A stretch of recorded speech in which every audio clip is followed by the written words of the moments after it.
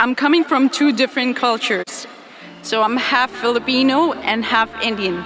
Now, um, my good friend, she brought me here. I believe everything about Islam. I have no other doubts, but I just want you to help me out. How? I mean, I'm not really sure what's really stopping me. So, like, I just want to ask you if you can help me out. Sure, sister, you can go ahead with the question. What is the doubt?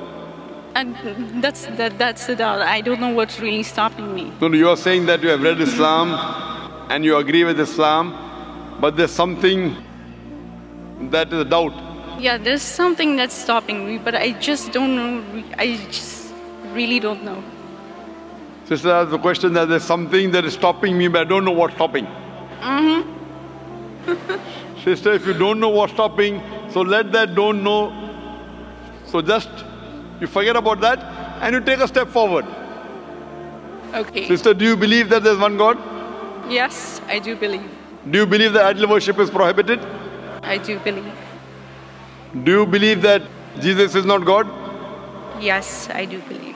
You do believe that he's not God. I do believe he is not a god. But he's a messenger he's- of God. Yes. Do you believe Prophet Muhammad is a messenger of God? Yes, I do. Sister, these two things that there is no God but Allah and Prophet Muhammad is the messenger of Allah is sufficient for you to enter the school. When someone is entering the school, he need not be a graduate. He knows the basics, he enters the school and then he learns more. So my request to you would be that if you believe that there is no God but Allah and you believe that idol worship is prohibited, you believe Prophet Muhammad is the messenger of God, you go ahead and inshallah God will guide you further and inshallah you'll be a more practicing Muslim. Okay, So do you want to accept Islam, sister? I think I should. Why not? Is there anyone forcing you? No, nobody's forcing me. Are you doing out of your own free will? Yes, I. So inshallah I'll just say it in Arabic and you can repeat it. Okay.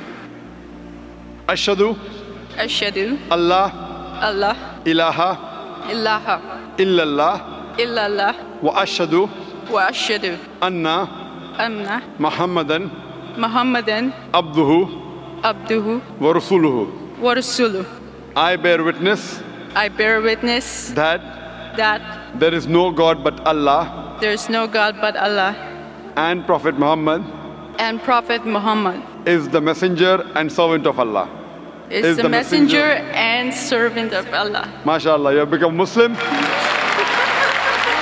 I pray to Allah subhanahu wa ta'ala to guide you further and to remove any obstacle.